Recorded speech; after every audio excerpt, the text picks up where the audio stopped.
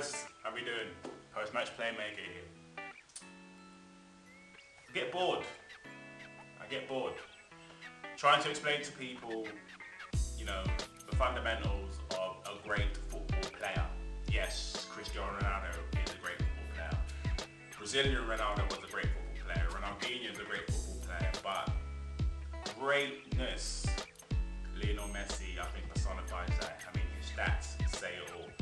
me give you a rundown. Telmo Zarra is the league's highest ever goal scorer with 251 goals. Lionel Messi has scored 190. The man is 25 years old. He can break that record this season if he sees fit. It's going to be broken and shattered, which will make him the all-time La Liga top goal scorer.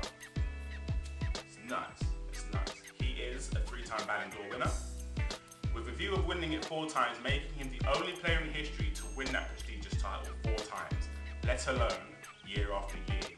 He's done it consecutively already three times. He has the record of Champions League goals in a single season. I think it's 14 he ended up with in one season, which nobody has broken yet.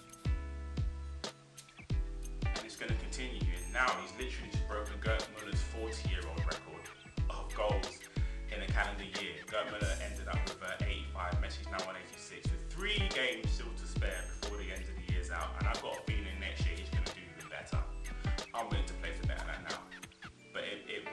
question, who is the better player? Cristiano Ronaldo, Lionel Messi. I'm giving it to Lionel Messi. Obviously, there are Ronaldo fans out there, but even they have to tip their hat and applaud the man. Messi, a true great, and I hope it continues because I'm loving every minute of your football. Goal of the week is going to go to Glenn Johnson. Uh, it's going to Glenn Johnson because obviously it was a great goal. He's capable of doing that, for a right back, you shouldn't be scoring goals like that. He does it for fun.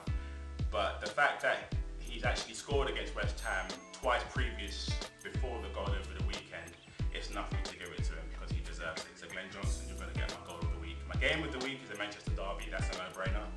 Obviously, what marred what, what marred the game um, was the uh, idiotic fans who decided to want to, you know, abuse and throw coins at Rio Ferdinand. Um, it was a great game. Take nothing away from the game. It was a great game, great finish. Manchester City actually provided a great comeback, and I thought City would win it at one United showing why they're champions are going to win the league end of this season. They've taken Manchester City's record of consecutive, I think, wins and draws. I think City lost the game actually at the had for the last two years, and Manchester United have just gone and just taken that away from them just like that, as would-be champions do. So uh, Manchester United sitting six points, top of the league, sitting pretty. It's going to be their year, I feel. I feel. Player of the week is going to go to Radamel Falcao. Why? He scored five goals over the. What more to be said?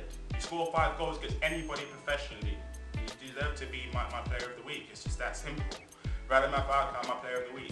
Guys, if you have any debates or any arguments or opinions about anything that I stated today, please do not hesitate to get at me. Get at me on Twitter at postmatchplayer. Obviously, you can uh, see my blogs on www.postmatchplaymaker.com. Catch me here on YouTube, and uh, yeah, I'll see you guys uh, next week with more post-match playmaker videos.